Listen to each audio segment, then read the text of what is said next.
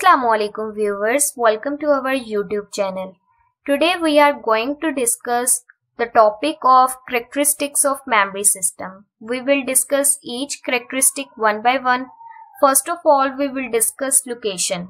Location का मतलब ये है कंप्यूटर सिस्टम में हमारे पास एक मेमोरी नहीं होती हम सिर्फ़ ये नहीं कह सकते कि we are having only main memory in our computer system no we also have secondary memory, like hard disk. We also have cache and registers. These all are memories. But इनकी नेचर डिफरेंट है कुछ memory में ज़्यादा data store होता है, कुछ memory में कम data store होता है कुछ टेम्परेरी लोकेशन है और कुछ परमानेंट लोकेशन है तो हम इनको वन बाय वन डिस्कस करेंगे the other main thing to remember is that Any direct communication between CPU and memory is called internal memory or any direct communication between multiple memories is called internal memory right internal memory की कुछ types हैं cache main memory and register cache को हम पहले discuss करेंगे क्योंकि हमने पहले इसको नहीं डिस्कस किया हुआ तो सबसे पहले हम कैशे को डिस्कस कर लेते हैं कैशे एक ऐसी मेमोरी है जिसमें वो प्रोग्राम्स या वो ऑपरेशन स्टोर होते हैं, जिसे सीपीयू ने करंटली एग्जीक्यूट किया हो। और अगर दोबारा कभी सीपीयू को उन ऑपरेशंस या उन प्रोग्राम्स की ज़रूरत पड़े तो वो इजीली कैशे से एक्सेस कर सकता है in less time as compare to access from main memory क्योंकि मेन मेमोरी से एक्सेस करने में ज़्यादा टाइम लगेगा और कैशे से एक्सेस करने में कम टाइम लगेगा, क्योंकि कैशे में वो ऑलरेडी लोड होते हैं और वो बिल्कुल रेडी होते हैं कि जब उन्हें कॉल दी जाए तो वो बिल्कुल सीपीयू के पास ट्रांसमिट हो सकते हैं उसी वक्त और सीपीयू उन पे एग्जीक्यूशन दोबारा से परफॉर्म कर सकता है। लेकिन मेन मेमोरी से जब किसी इंस्ट्रक्शन या प्रोग्राम को या ऑपरेशन को एक्सेस करना होता है तो एड्रेस बस और डाटा बस की ज़रूरत होती है। सबसे पहले हम वो एड्रेस रखते हैं एड्रेस बस पे, जहाँ से हमने डाटा को रीड करवाना है। देन डाटा को रीड करने के बाद डाटा बस के ऊपर डाटा को लोड किया जाता है एंड देन सीपीयू पे ट्रांसमिट करवाया जाता है तो इट्स अ लॉन्ग प्रोसेस जबकि कैशे में वो डाटा ऑलरेडी लोड होता है तो हम कैशे से इजीली एक्सेस करवा सकते हैं as compare to access from main memory right then the second internal memory is main memory main memory को हम बहुत दफ़ा डिस्कस कर चुके हैं that it is a collection of blocks, block is a collection of words, इसको हम अगली करेक्टरिस्टिक में बहुत डिटेल से डिस्कस करने वाले हैं viewers so don't worry about it मैंने अपने फ़र्स्ट लेक्चर में मेन मेमोरी का एक रफ सा स्ट्रक्चर रिप्रेजेंट किया था, जिसमें मैंने बताया था कि मेमोरी को मुख्तलि पोर्शंस में डिवाइड किया गया है, और हर पोर्शन का साइज़ सेम है। अगर आपने मेरा वो लेक्चर नहीं देखा गो एंड सी उससे आपको मेन मेमोरी का रफ सा स्ट्रक्चर क्लियर हो जाएगा। देन उसके बाद है register register is also a small memory location जहाँ पे हम कुछ डाटा को स्टोर करवा देते हैं, जिसकी हमें इतनी नेसेसरी ज़रूरत नहीं होती, या वो डाटा जो मेन मेमोरी में लोड नहीं हो पाता, क्योंकि मेन मेमोरी में इतनी जगह नहीं होती तो हम उसको एक टेम्परेरी स्टोरेज लोकेशन रजिस्टर में स्टोर करवा देते हैं, ताकि कभी भी सीपीयू को अगर उस डाटा को एक्सेस करने की ज़रूरत पड़े तो वो रजिस्टर से एक्सेस कर ले। बजाय इसके कि उसे मेन मेमोरी में लोड करवाया जाए रजिस्टर से, और देन मेन मेमोरी से आगे सीपीयू तक वो डाटा पहुँचाया जाए तो सीपीयू डायरेक्टली रजिस्टर से एक्सेस कर ले। रजिस्टर की टाइप्स मैंने अपने फ़र्स्ट लेक्चर में डिस्कस की थी डिटेल से। You can see that lecture introduction to computer architecture and organisation okay so viewers location का यही मकसद था जो मैंने आपको सारा डिटेल में बता दिया है कि एक कंप्यूटर सिस्टम में डिफरेंट लोकेशंस पे डिफरेंट मेमोरीज एग्जिस्ट करती हैं और सीपीयू और मेमोरी के दरमियान जो डायरेक्ट कम्युनिकेशन होती है या उन मेमोरीज जिनके दरमियान डायरेक्ट कम्युनिकेशन हो सकती है, उसे हम इंटरनल मेमोरी कहते हैं। Now come to the second characteristic second characteristic is capacity capacity का मतलब है मेमोरी का साइज़ डिफरेंट मेमोरीज का साइज़ कैशे का क्या साइज़ है मेन मेमोरी का क्या साइज़ है, और रजिस्टर का क्या साइज़ है। Basically size mean how much data you can store in any memory Okay viewers, now we are going to discuss the third characteristic of memory system and that characteristic is unit of transfer. Unit of transfer में हम blocks को और words को discuss करेंगे। आप देख सकते हैं कि ये मेमोरी है ये कैशे मेमोरी है और ये सीपीयू है। Main memory is the collection of blocks main memory में डिफरेंट ब्लॉक्स हैं। यहाँ पे मेरे पास मेन मेमोरी में ज़ीरो से लेके फाइव तक ब्लॉक्स जो हैं वो लोड हैं। And block is the collection of words आप देख सकते हैं कि जो बी ज़ीरो ब्लॉक है, इसमें तीन वर्ड्स को लोड किया गया है। बी वन में दो वर्ड्स को बी टू में एक वर्ड को बी थ्री में टू वर्ड्स को। इस तरह हम ब्लॉक्स में वर्ड्स को लोड करवाते हैं। एक ब्लॉक के अंदर जितने वर्ड स्टोर करने की कैपेसिटी होगी, उतने ही वर्ड स्टोर होंगे।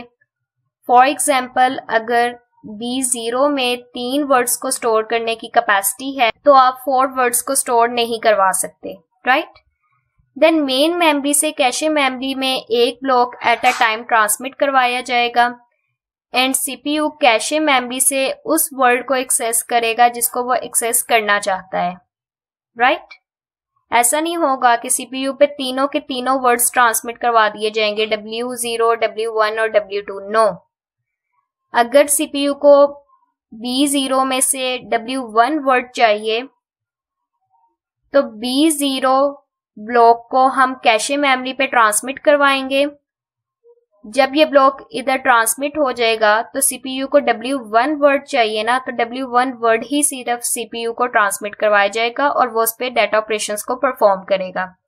राइट देन हम सेकेंड डायग्राम को डिस्कस करेंगे। सेकेंड डायग्राम में कुछ इस तरह है कि आप देख सकते हैं डिफरेंट लोकेशंस पे डिफरेंट मेमोरीज हैं। सेकेंडरी मेमोरी है मेन मेमोरी कैशे और सीपीयू अगर सीपीयू सेकेंडरी मेमोरी से डाटा को एक्सेस करे तो इसे सबसे ज़्यादा देर लगेगी।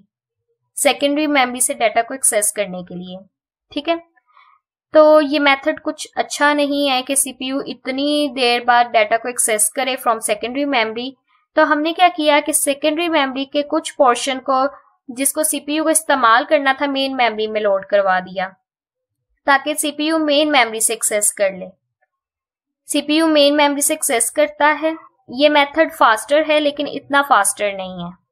लाइक like उसे मेन मेमोरी से भी एक्सेस करने में टाइम लगता है। ये हम पहले भी डिस्कस कर चुके हैं अपनी फ़र्स्ट करेक्टरिस्टिक में।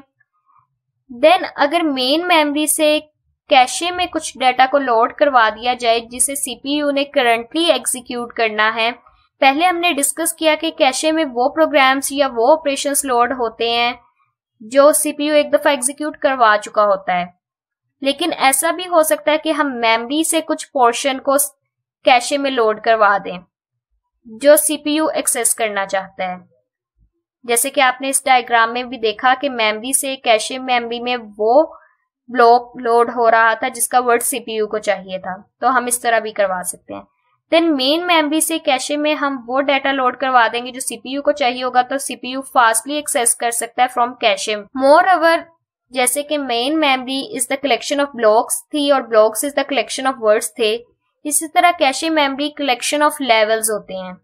इसमें लेवल्स की फॉर्म में डाटा स्टोर होता है L zero L one L two L three and so on right तो ये थी third characteristic unit of transfer okay viewers now we are going to discuss the fourth and fifth characteristic of memory system access method and performance access method में further four methods हैं sequential random direct and associative first of all we will discuss sequential access sequential access का मतलब है कि sequence में access करना। For example CPU को block two में वर्ड सिक्स चाहिए। तो सिक्वेंशियली चेक किया जाएगा कि ब्लॉक टू कौन सा है। पहले इसे चेक किया जाएगा, ये ब्लॉक ज़ीरो एंड नो हमने यहाँ नहीं जाना। ब्लॉक वन चेक किया जाएगा, ये ब्लॉक वन है, पता चलेगा, यहाँ भी नहीं जाना। देन ब्लॉक टू आ जाएगा। ब्लॉक टू पे चेक किया जाएगा तो पता चल जाएगा ये ब्लॉक टू है। देन इसके वर्ड्स को सीक्वेंस में चेक किया जाएगा। पहले वर्ड फाइव को चेक किया जाएगा। पता चलेगा कि ये वर्ड सिक्स नहीं है। देन नेक्स्ट वर्ड को एक्सेस करके उसको चेक किया जाएगा। देन पता चल जाएगा कि ये वर्ड सिक्स है।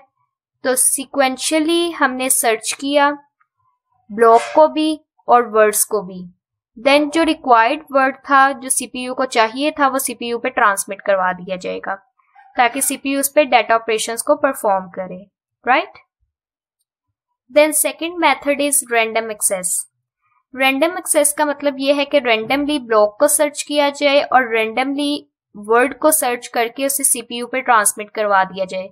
फॉर एग्ज़ाम्पल सीपीयू को ब्लॉक फोर का वर्ड टेन चाहिए तो यहाँ से रेंडमली हम ब्लॉक फोर को एक्सेस करेंगे, उसके वर्ड टेन को एक्सेस करेंगे और सीपीयू पे ट्रांसमिट करवा देंगे। This is called random access now we will discuss direct access direct access में कुछ इस तरह होगा कि ब्लॉक्स को सीक्वेंस में एक्सेस किया जाएगा और वर्ड्स को रेंडमली एक्सेस किया जाएगा. फॉर एग्ज़ाम्पल सीपीयू को ब्लॉक वन का वर्ड थ्री चाहिए. सीपीयू को ब्लॉक वन का वर्ड थ्री चाहिए ना? तो सीक्वेंस में आप स्टार्ट से चेकिंग करेंगे। जहाँ पे आपको ब्लॉक वन मिल जाएगा, आप उसमें से वर्ड को रेंडमली एक्सेस करेंगे।